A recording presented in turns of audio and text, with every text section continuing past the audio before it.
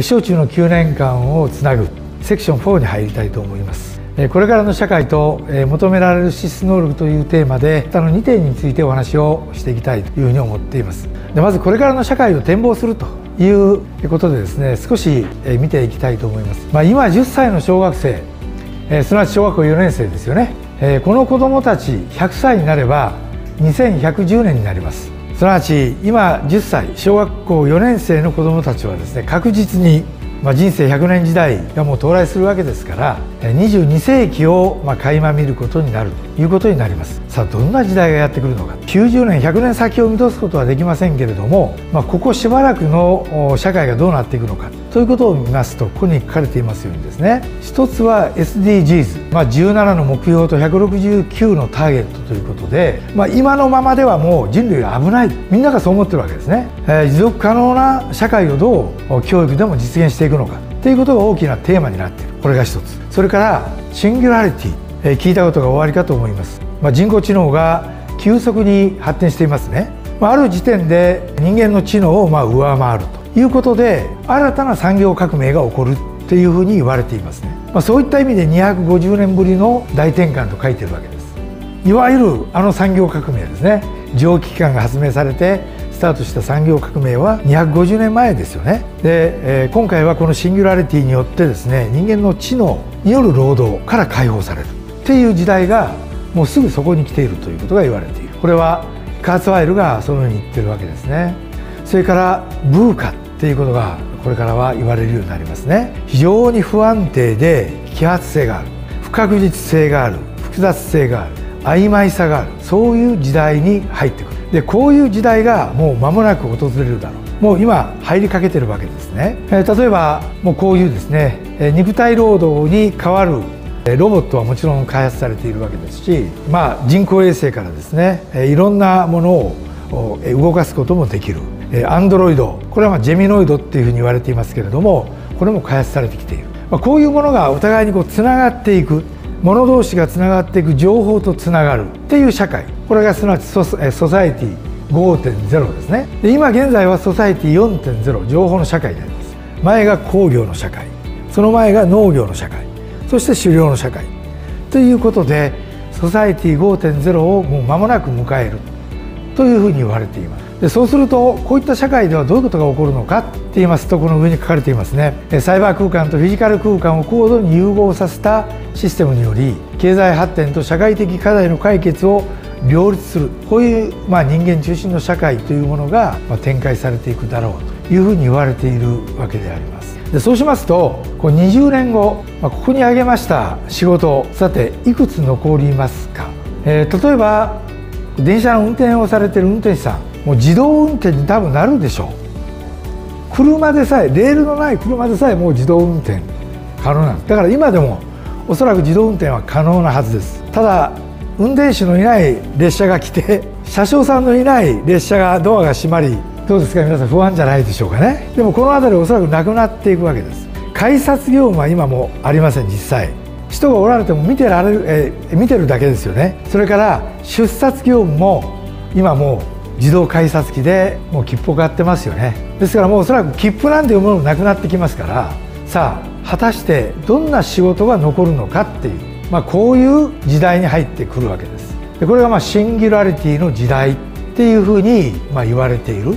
日本の労働人口の49%が人工知能やロボットなどで代替可能になっていくだろうというようなことがまあ言われているわけであります。ラリー・ペイジとかですね。キャシー・デビッドソンはこのように言っています、ま、いずれにしても今我々の目の前にいる子どもたちが社会人になる時には今なりたいと思っている仕事があるとは限らないということでありますしまた今働いてられる先生方の仕事があるのかどうかも分かりません。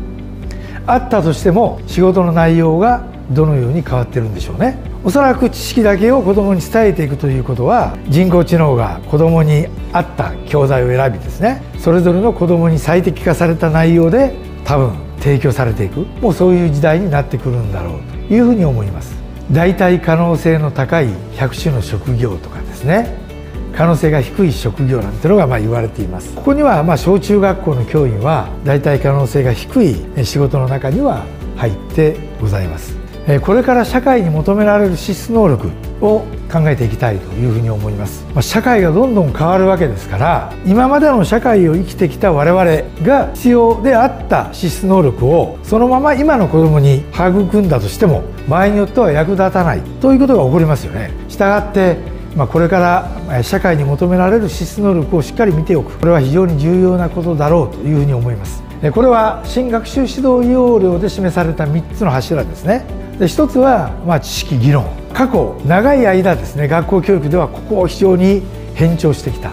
ましかし前の前の学習指導要領あたりからですねいわゆる総合的な学習の時間が登場して、えいわゆる習得活用探究というようなことが言われました。でこの辺りからですねこの、ま、思考力判断力表現力というようないわゆる知識技能を活用するっていうところが非常に焦点化されるようになってきたわけであります。そしてさらに学びに向かうに力人間性というものを育む。それはなぜか。先行き不透明。社会がどう変わっていくかわからない。しかもその変化が非常に急激ですからその社会の変化に合わせて学び続けなければならないわけです。だからそういったことのできる力っていうものが求められている。そして一人で、え当然え問題の解決が図れませんからいろんな人と共同しながら一緒に問題を解決していくそういった意味でまあ、人間性というものが問われてくるということであります。でこれは、ま、OECD の考え方にですねこの文部科学省の考え方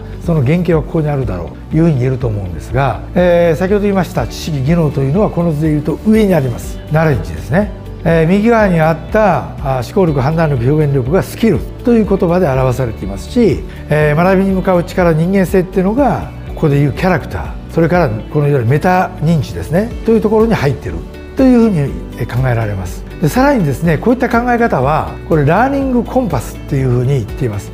これも OECD が考えているものですね。これ非常に細かい図で申し訳ありません。えコンパスが図の中心にありますけれどもこの左下にですねスチューデンエージェンシーっていうものがありますね。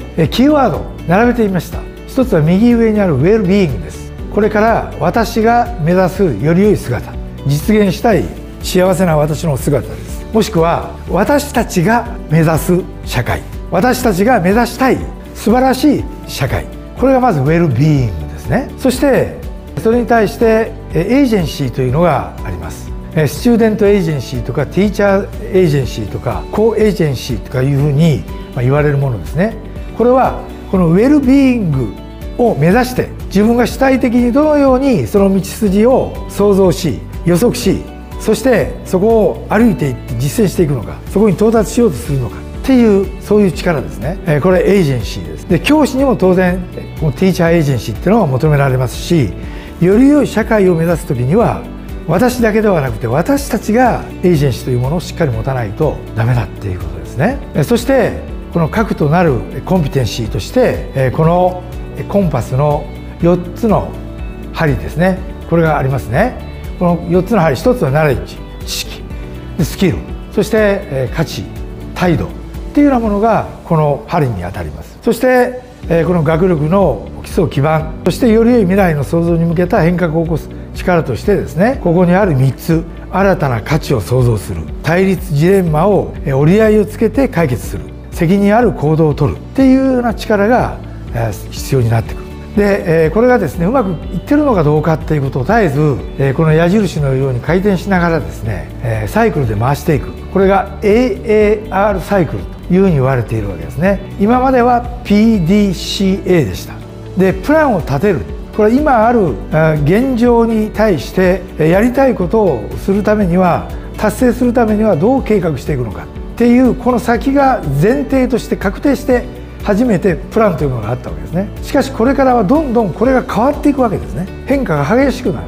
だから見通しを立てるしかできないわけですね。見通しの段階で行動しなきゃならない。見通しを立て行動をしそして振り返る。そしてまた見通しをっていうこの AAR サイクルっていうことがですねこの考え方で提唱されているわけであります。こういった考え方のですね基本にこういった考え方もあるわけです。これ何かと言いますと今まで学校っていうのは形式的平等主義じゃなかったでしょうか。どの子供にも同じような教材で同じような方法でそして一斉授業でも力をつけていく。不公平があってはならない。これ学校間でもそうですよね。あの学校もこの学校もそして私の学校も同じような条件でやっていく。形式的平等。それがですね今まあ公正な個別最適化ということが言われだした。でこれは個々の子どものウェルビーイングは違うわけですから。そこに到達する道筋も違うわけですね。でそこに到達する道筋が違うということは学びも当然違うわけです。ですからここの子どもに対して最適な学びをこれからは提供していくことが大事である。